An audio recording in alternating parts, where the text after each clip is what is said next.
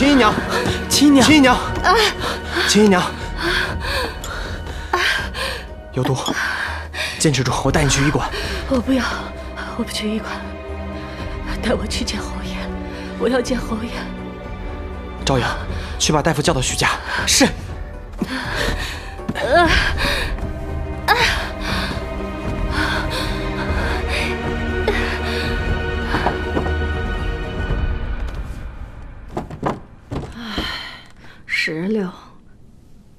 在我们徐家侍奉多年，我一直以为她是个忠心乖巧的姑娘，这，这怎么就成了欧家的内应呢？确实是我冷落了她，可她就如此恨我吗？竟不惜联合欧家暗害我。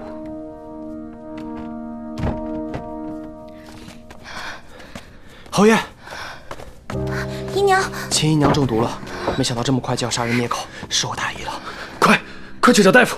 嗯，快扶他躺下。姨娘，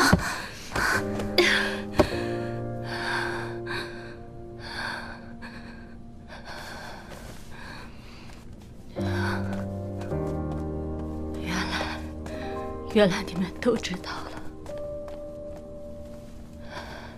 先别说话，我扶你去休息。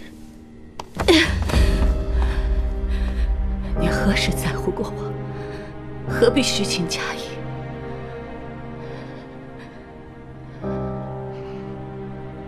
我知道，我马上要死了。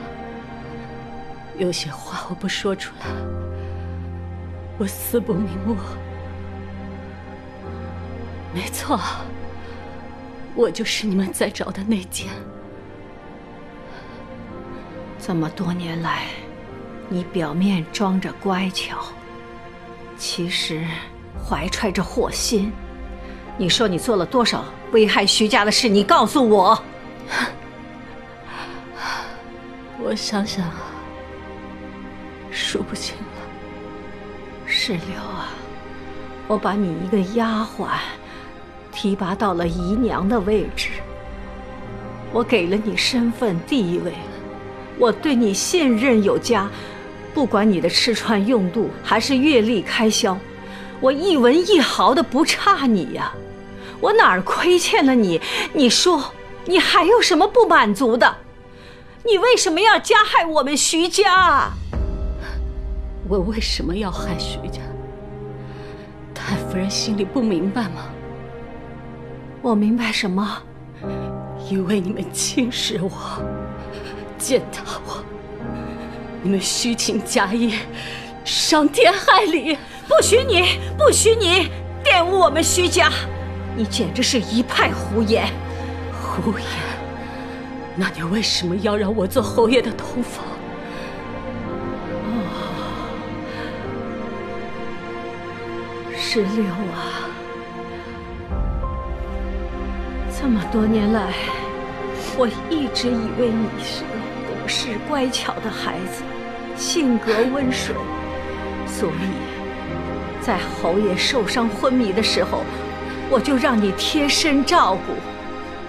还有，是为了你的清白，我才让你做了他的通房。为了我？那为什么让我喝避子汤？那那是，那是因为，因为你不让我有孩子。因为侯爷还未娶甄氏，你怕他有了甄氏，他不高兴我有孩子，所以你让我喝避子汤。可是这避子汤让我小产，让我再也不能有自己的孩子。我失去孩子多少年，就恨了你多少年。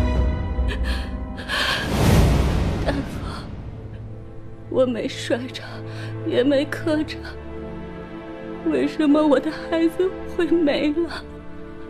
姨娘是否服用过什么汤药？姨娘，姨娘之前服用过避子汤药。哎，那种虎狼之药，不是每个人都能承受的。可是姨娘已经很久没有服用过了，我姨娘他们也服用，为什么偏偏就我的姨娘有事啊？大夫，还有办法的，对不对？这是药三分毒，那避子汤更是药性寒凉。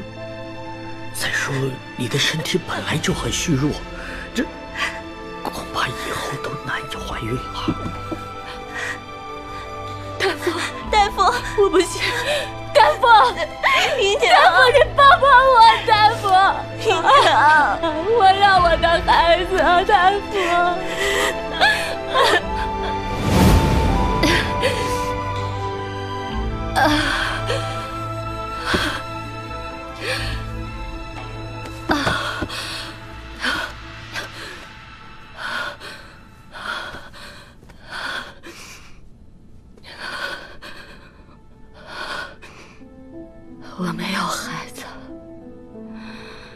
也没有侯爷的宠爱。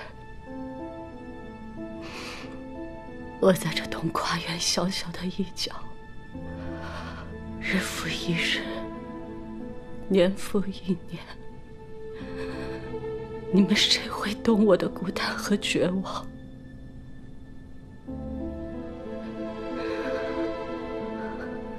还有你。罗十一娘，你让我以为我可以养杰哥，你让我以为生活又有了希望。可是这一切全是假的，我也不过是你争权夺势的妻子罢了。十一娘一直为你争取，只是我另有打算。家中孩子都是二嫂教养，她才是最适合教导杰哥的人选。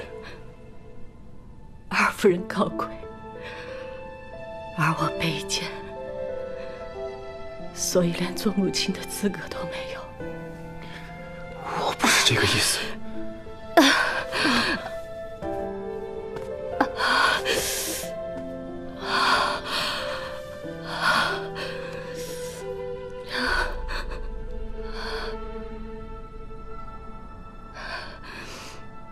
孩子，让你受苦了，我用心良苦。但用的不是地方，让你遭了这么多的难，让欧家下了毒。大夫人，石榴都要死了，你又何必再惺惺作态呢？